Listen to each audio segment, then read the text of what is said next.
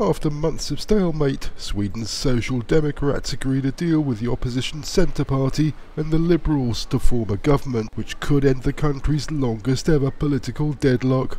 Four months after parliamentary elections on 9th of September, which revealed a fragmented political landscape in the Scandinavian country, the parties have published a 15-page policy platform on their websites.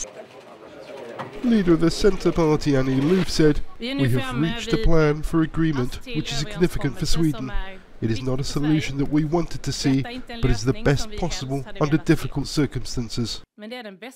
Together, the Social Democrats, the Greens, the Centrists and the Liberals have a total of 167 seats in the 349-member Riksdag, eight less than the required parliamentary majority of 175 seats. Parliament's president will on Monday meet the heads of the parties before presenting a prime ministerial candidate. A vote is expected to take place on Wednesday.